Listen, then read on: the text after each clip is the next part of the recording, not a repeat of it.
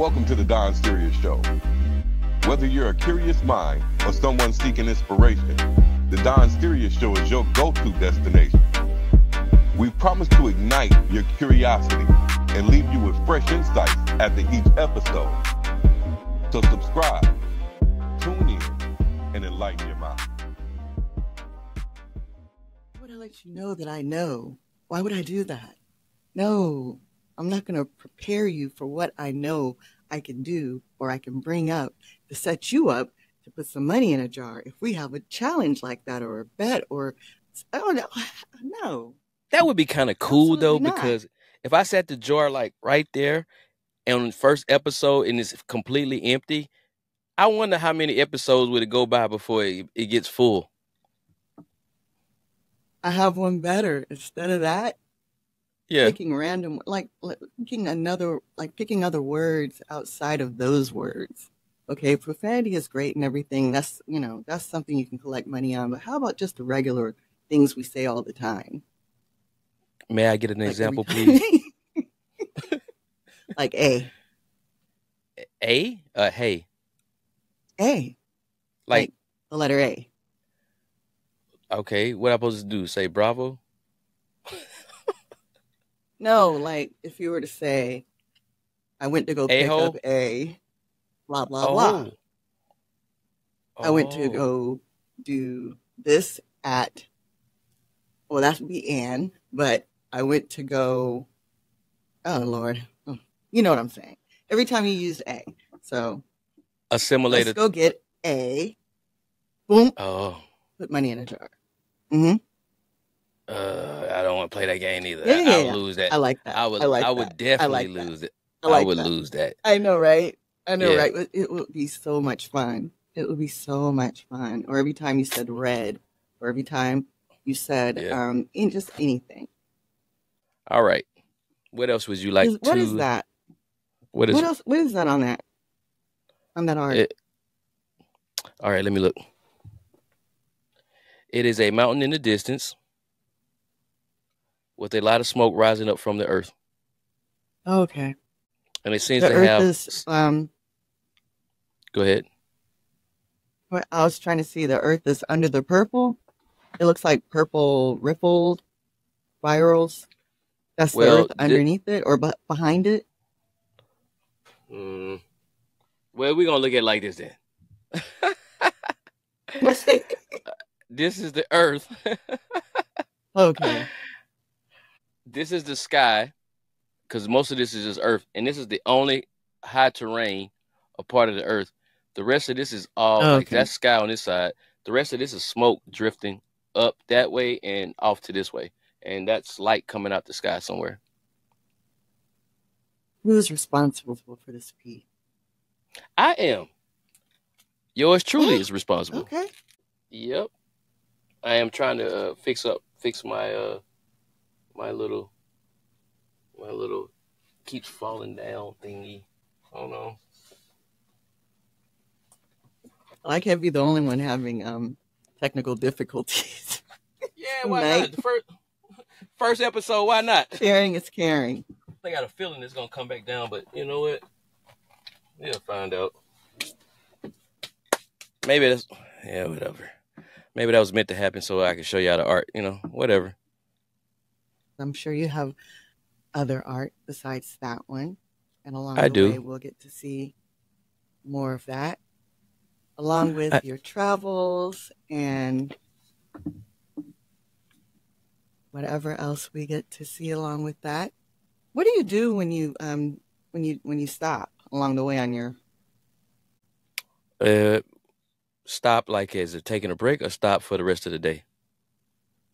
Like when you reach your destination, do you do anything special? Do you have days? Do you have hours like between picking up and dropping off loads? Uh, yeah, well, um, hmm, depends. If I deliver a load and there's a plenty of hours on this uh, federal clock they make us abide by, I have a dispatcher and he will find me a backhaul or another load to go somewhere else, and I either go pick it up and then get to like a place of uh, rest, a safe place, and stop. But uh, in these stops, uh, there's many things I do when I finally shut it down or shut down the uh, truck. Um, there's a PlayStation in here. Uh, if I have days off in a major city, I go get a room from time to time, rent a car, go out see a city I never explored. If I've been there more than once, I get to explore it more. Or sometimes I uh, enjoy the Apple TV. Or sometimes I uh, make music on on like kind of different pieces of equipment, like the MPC Live. If anybody knows what that is, I got the, the second one, MPC Live two. Or make music on my phone, or um, work on art or just watch a movie and stream stuff, or man, this thing will not stay where it wants to be no more. I, am just gonna take it down though. But um, I do a lot of different things though. I just gotta, you know, what I feel like, what I feel. Sometimes I don't do anything because I just be tired. The new, the areas, the, um, see the attractions, get involved with yeah. the communities, or like if you make regular runs to certain cities, are there certain places you frequent, that type of thing? And you don't have to say where or anything like that, right? I'm just I'm just asking, do you have a routine? Uh, I'm gonna be honest with you. Uh, it's kind of hard to keep a routine in trucking though because like uh, deliveries be different on a day to day basis.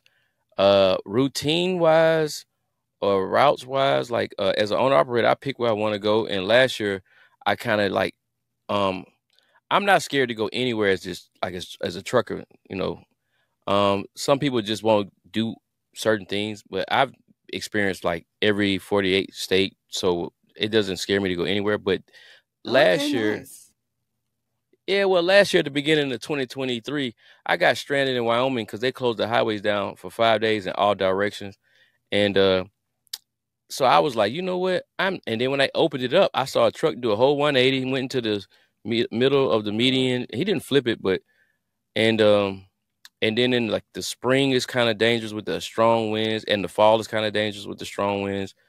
And I had to pull on the shoulder last year in Nebraska for a, tornado, a tornado uh, across the highway.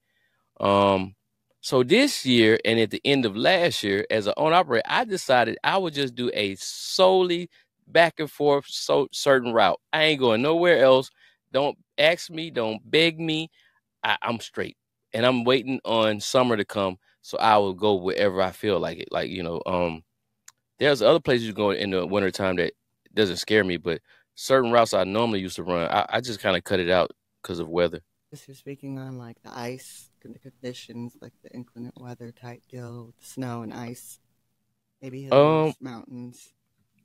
To be honest with you, mountains don't really uh, scare me. Um, I think I went to a good trucking school in my city and state because uh, I've been in other forums or groups and uh, whatever, and I, I hear some, I read some of the comments, and you know, it's a bunch of truckers. I don't think they know a lot. Not the, the younger version was now though, but um, mountains don't scare me.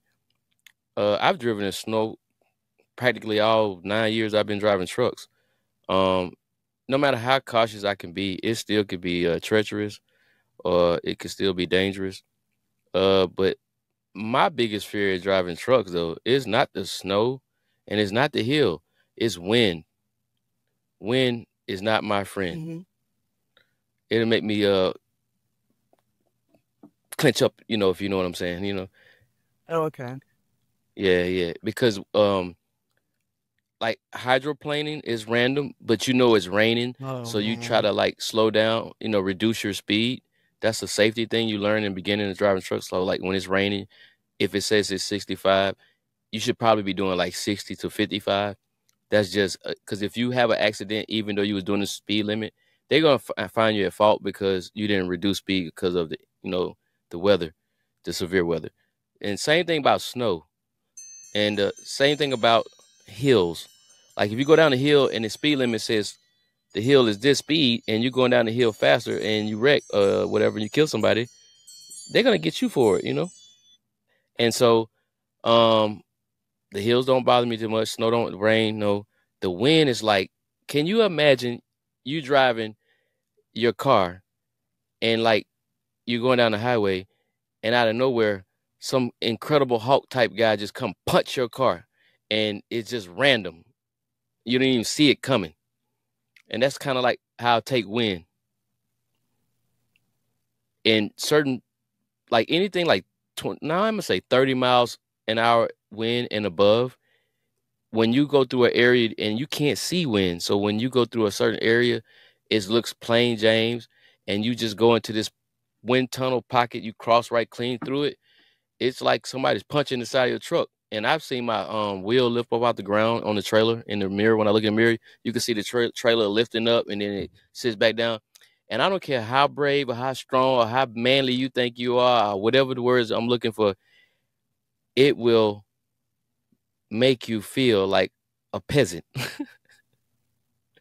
it mm-hmm. also will give you a mini stroke. You'll get so much uh, anxiety from it. The Don Sirius Show